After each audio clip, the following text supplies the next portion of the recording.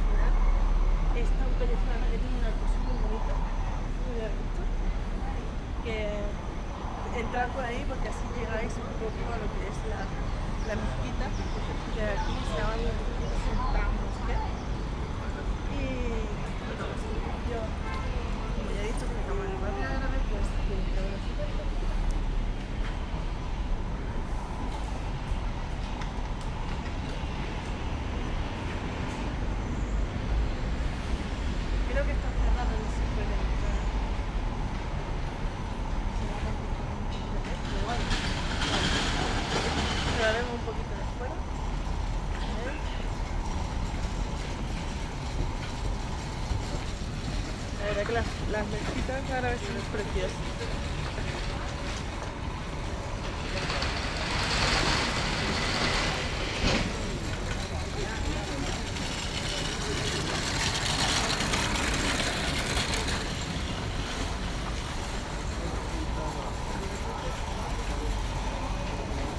Bueno, esa es la mezquita, como ya podéis ver, ahí está puesto el nombre, pues imagino que el sultán se llamaba así, Masjid Sultán Ini Iqtidá, o como se diga.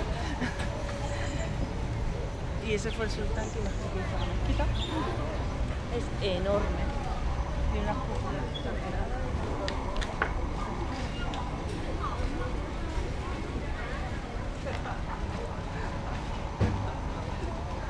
Y nada, seguimos un poquito a las puertas de la mezquita, seguimos con los puestecillos donde poder comprar souvenirs a no poder más. ¿Son para ti o son para mí?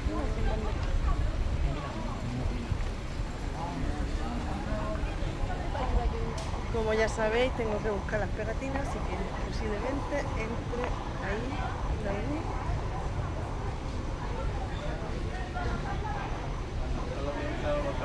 Hello. Hello.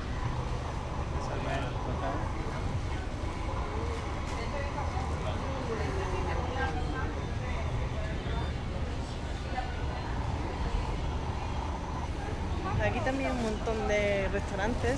Se le ve un pelín así como más categoría y eso para cenar tranquilamente.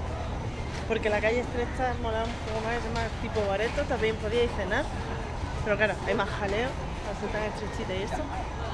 Y esta es como la típica, central de todo este barrio árabe.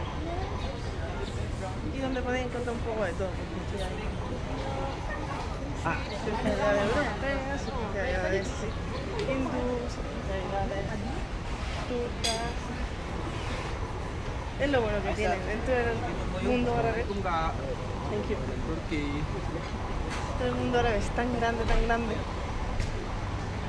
pues que la misma cultura está mezclada de país a país.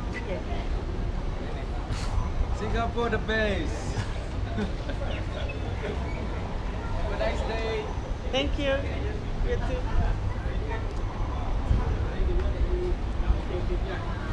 Eh, la gente por esta zona me encanta tanto como cuando estuvimos por Tailandia, aquí está pasando igual, la gente es muy llana, muy te saludan, te hablan, te preguntan, te ayudan si necesitas buscar una calle,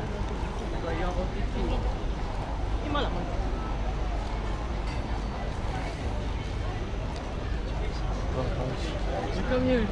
Y como no, también pues en el mundo árabe de vez en cuando hay un poquillo de lujo. Y aquí tenemos a un señor que estará cenando por ahí, como ya he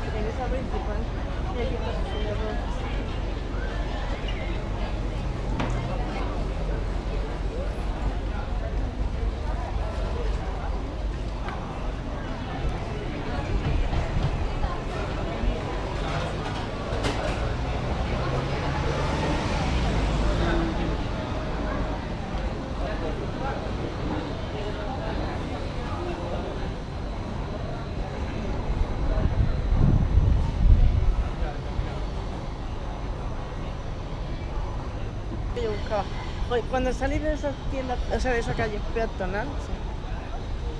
cuando salís de la calle peatonal tenéis que girar a la izquierda por Baghdad Street y entráis a Kandahar Street.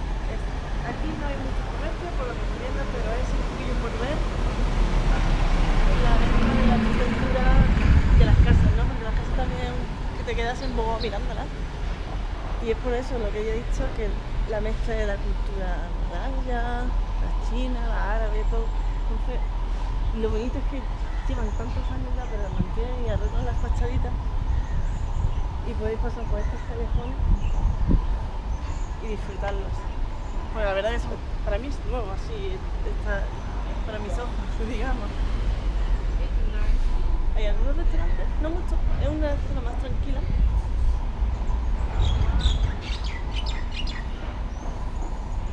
Así que vamos para adelante a ver. Bueno chicos, dejando un poquito en un lateral la Kandahar Street y a mi espalda digamos la mezquita. La verdad que esto no tiene nada de pérdida, esto un poquillo así dándole vueltas, un par de escaparte por algunas callejuelas, más o menos, dejando a la espalda tenemos digamos el Malay Central, que lo que es era el antiguo palacio real. Pasillo porque tiene unos jardines preciosos, visto, unos árboles bastante únicos. Es como una especie de jardín botánico, donde podéis encontrar cositas. Pero bueno, podéis venir a pasear, sentar un poquito.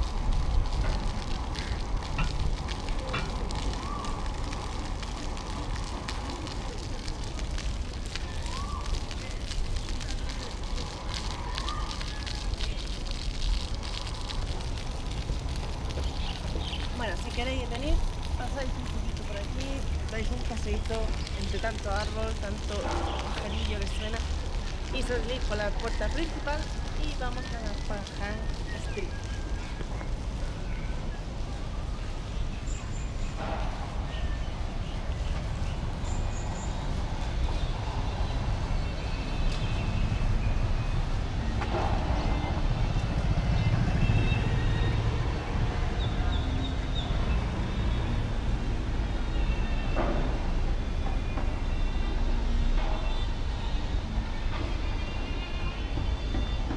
Pues nada, aquí un poco va a terminar el recorrido que os voy a recomendar. El principal, digamos, de todo este barrio árabe, donde el centro prácticamente ha sido esa pedazo y maravillosa ma- mezquita que molaba un montón.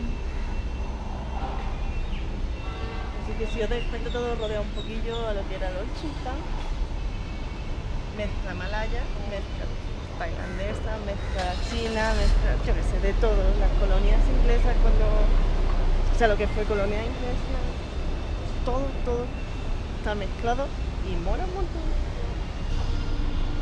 Bueno chicos, aquí en este Pajan Street, o como se espero que se diga así, eh, termino un poco lo que yo recomiendo de guía para ver este barrio. Normalmente lo he dicho al principio, se hace unas dos horas pero por eso, porque tenéis que ir lentito, entrar a un sitio, tomando algo, viendo un poquito más la mezquita, el palacio, o sea, los jardines, todos los alrededores, y entrando a los bazares, apreciando un poco todo lo que es la cultura, tanto la gastronómica, eh, su arte, en- en general, tanto de la arquitectura, las fachadas, los textiles, o sea, en general todo porque es una mezcla que te caga de súper molona de lo que he dicho, de la cultura malaya, china, árabe, toda aquí reunida en este barrio árabe de Singapur.